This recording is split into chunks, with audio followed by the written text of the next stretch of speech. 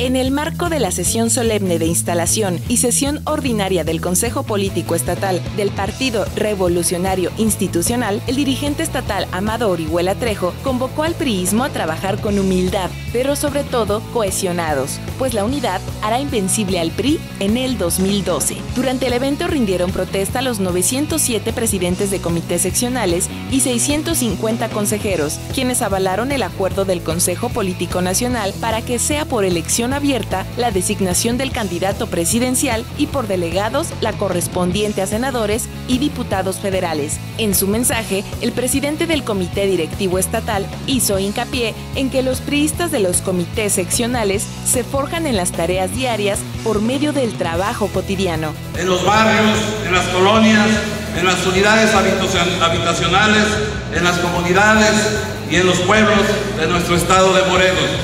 Ahí en el comité es donde se aprende a querer a nuestro partido, porque ahí es, ahí es donde cada uno aporta su esfuerzo y lo suma al esfuerzo de otros, al esfuerzo común. Con relación a la militancia, Orihuela Trejo manifestó estar seguro que el tricolor tiene los activos políticos suficientes para participar en el venidero proceso estatal y nacional, cuadros ejemplares por su recia formación ideológica y política, de donde surgirán los mejores hombres y mujeres a las candidaturas. Ahí es, es en el comité seccional, lo reconocemos, donde se viven con mayor intensidad nuestros triunfos y también donde se viven los momentos más difíciles para nuestro partido. Ahí militan los grandes líderes sociales que construyen las grandes victorias de nuestro partido. Sobre las palabras del líder nacional Humberto Moreira durante el pasado Consejo Político Nacional, en donde se mencionó que los meses venideros serán de ataques desmedidos contra el tricolor. ¿Qué nos esperan en estos meses? ¿Qué nos espera en estos meses? Los intentos de nuestros adversarios para dividirnos. ¿Qué nos espera en estos meses? los ataques desmedidos para tratar de lograr lo inevitable, que es el regreso del PRI al gobierno federal y al gobierno del estado de Morelos.